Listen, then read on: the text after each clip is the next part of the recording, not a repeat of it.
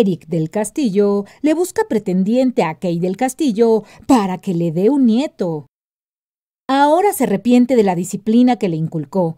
El primer actor, Eric del Castillo, siente que el reloj biológico de su hija Kate marca los últimos instantes para la maternidad, sabiendo que cada día es más complicado realizar su sueño de abrazar un nieto de su retoño más pequeño, como suegra molona hace una lista de pretendientes.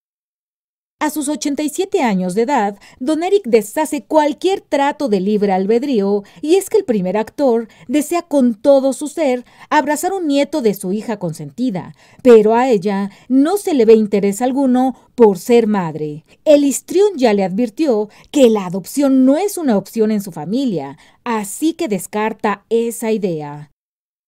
La desesperación de don Eric es tan grande que ya hizo una lista de posibles pretendientes para su hija, tomando como base a quién quiere que se parezca ese anhelado nieto, pero solo enlistó a actores estadounidenses y millonarios, pues calcula que un mexicano podría arrebatarle la fortuna que ha hecho su hija. Desde muy niña, el intérprete de corridos le inculcó a la protagonista de La Reina del Sur la disciplina y el amor por la actuación, pero ella se ha refugiado tanto en su trabajo y de la fiesta permanente que prácticamente se olvidó de vivir. Así se lo dijo hace un par de meses el mismo Erika Kate, pues tanto él como su esposa, doña Kate, han visto que su hija no es feliz y todo el tiempo se la pasa trabajando o buscando nuevas producciones, pero todo lo hace en automático. Según relató la pareja, que ha visto cómo se le va la vida a la menor de sus hijas.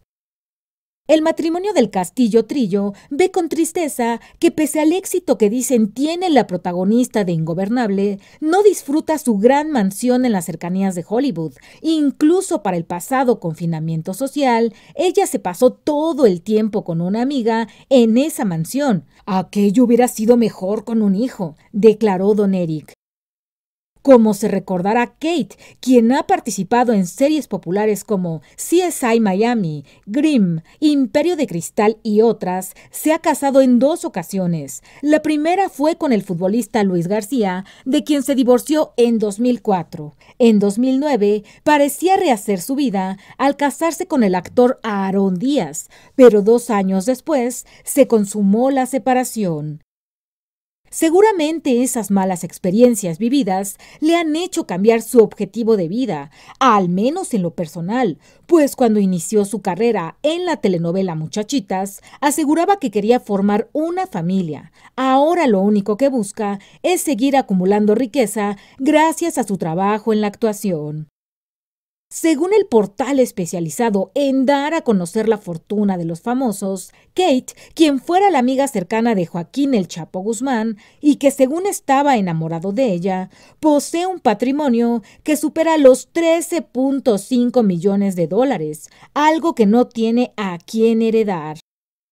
Kate era el orgullo de don Eric, incluso hacía de menos a su hija Verónica, quien no se dedicó a la actuación y a quien le decía que de haber seguido sus pasos sería más rica que la misma Kate, por ser la más guapa. Pero parece que todo eso cambió, pues la primera le dio un nieto que es su adoración, al menos le sirve para llenar ese vacío.